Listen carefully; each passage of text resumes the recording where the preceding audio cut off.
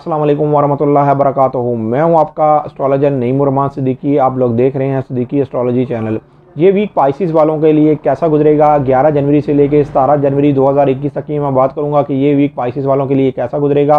और जिनको अपनी डेट ऑफ़ बर्थ नहीं पता, वो अपने नाम के पहले हरूफ से भी जान सकते हैं। क्या आप पाइसिस तो नहीं है? अगर आपके नाम के पहले हरूफ दाल और छः से शुरू होते हैं तो आप भी पाइसिस हैं। उससे पहले जिन लोगों ने अभी तक मेरे चैनल को सब्सक्राइब नहीं किया, उन लोगों से गुजारिश है चैनल को सब्सक्राइब कर लें। साथ ही बेल आइकन को पुश कर दें। ताकि मेरी आने वाली हर वीडियो आप तक आसानी से पहुँच सके। वीडियो को शेयर लाइक कमेंट लाजमी करें ताकि हमारी टीम की हौसला अफजाई हो सके। पाइसिस वालों के लिए ये वीक ज़ाती मसरूफियात में बहुत ज़्यादा एक अहम वीक है और ये वीक आपके ज़ाती कामों में ही गुजरने वाला है। लेकिन इस वीक के अंदर आपके ऊपर भारी अखराज भी रहेंगे, लेकिन एक बेहतर डेवलपमेंट हो रही है आपके जायचे के अंदर। जो मरकरी और जुपिटर का जो करान हो रहा है, ये करान होने की वजह से आपके घरेलू मामला में, आपके शराकती मामला में और इज़्ज़त और वक़ार के मामला में बहुत ज़्यादा बेहतरी आना शुरू हो जाएगी। अगर आप अपना कोई नया काम शुरू करना चाह रहे थे और वो काफ़ी अरसे से नया काम नहीं हो पा रहा था तो ये एक बेहतर आपको मौका मिलता हुआ नज़र आ रहा है। आपका इस वीक के अंदर नया काम शुरू होता हुआ नज़र आ रहा है। यहाँ पर आपके थर्ड हाउस के अंदर मरीक भी है और यॉर्नस भी है।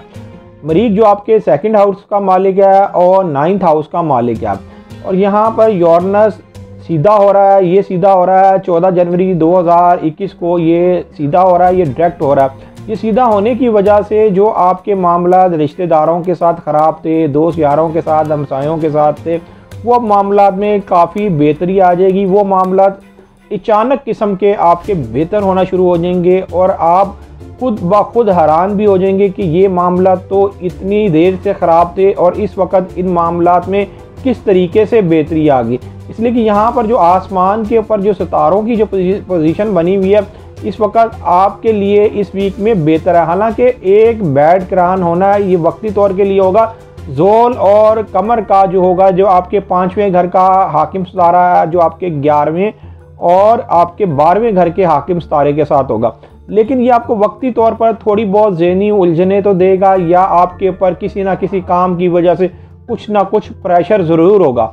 लेकिन यहाँ पर नया चाँद जो आपके ग्यारहवें हाउस में निकलना है अलेवंथ हाउस में जो आपका नया चाँद निकलेगा, आपके लिए एक नई उम्मीद के साथ लेके निकलेगा और आपके लिए एक नए तौर और तरीके आप अपनाएँगे काम करने के नए नए अंदाज जो ना, आप अपनाएँगे। लेकिन मैं आपको यहाँ पर एक बात बता दूँ मरीक आपके थर्ड हाउस में है यॉर्नस भी आपके थर्ड हाउस में है, ये करीब तीन दर्जे के साथ साथ चलेंगे और इनके करीब तीन दर्जे में साथ साथ होने की वजह से कई पाइसिस वाले अगर अपने काम के हवाले से जज्बाती हो गए और या वो जल्दबाज हो गए तो उनके लिए थोड़ी बहुत परेशानी बन सकती है। या जिनके पैदाइशी जायचे के अंदर मरीक और यौरनस कमज़ोर होंगे, उनके अंदर ज़रूर जज्बाती फ़ैसला करने के लिए हर वक्त वो तैयार होते होंगे और उसी वजह से वो अपने कामों के अंदर नाकामी हासिल करते होंगे।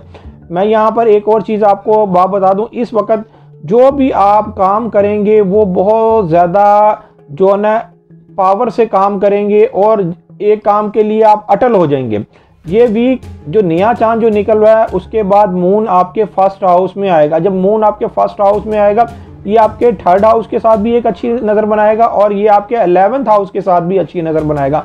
मतलब कि शराकती तौर पर जो आपने काम किए हुए थे और अगर उधर से कहीं बेनिफिट नहीं मिल पा रहा था तो अब बेनिफिट मिलता हुआ नज़र आ रहा है। ये जो अतारत और मुश्तरी का करान हो रहा है, ख़ास तौर पर उन लोगों के लिए ये करान बहुत बेनिफिट साबित होगा जो किसी एजेंसी में काम करते हैं, फ़ौज में हैं, पुलिस में हैं हस्पताल में काम करते हैं। उन लोगों के लिए ये एक आइडियल टाइम होगा।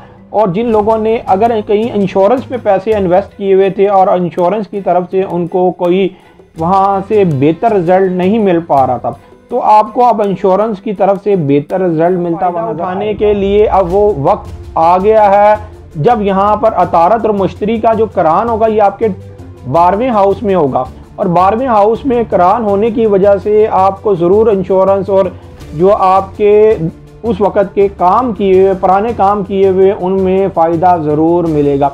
यहाँ पर मैं आपको एक और चीज़ बता दूँ कि मरकरी के बारहवें हाउस में आने की वजह से आपने कुछ भी इस वीक के अंदर टाइम ज़ाया नहीं करना। ज़्यादा से ज़्यादा अपने काम करने की कोशिश करें और इस वीक के अंदर ज़्यादा से ज़्यादा काम करने की कोशिश करें। और जो लोग इमिग्रेशन के मामले में परेशान थे या बैरून मुल्क सफ़र के मामले में परेशान थे तो उनकी ज़िंदगी के अंदर एक बेहतर वक्त आता हुआ नज़र आ रहा है और ये अचानक इनकी ज़िंदगी के अंदर एक बेहतर वक्त आएगा और इस वक्त से इनको फ़ायदा उठाना चाहिए। इसलिए कि मून ने जब आपके फ़र्स्ट हाउस में आना, यहाँ पर आपके लिए इस वीक के अंदर अचानक बहुत सी चीज़ें आपके लिए करनी और मुस्बत चीज़ें होंगी। सिर्फ़ और सिर्फ़ उन लोगों के लिए ये वीक ज़रा बेहतर नहीं, जिनके पैदाइशी जायचे के अंदर यॉर्नस और मरीक और सटन, जहल ये नाकिस हैं।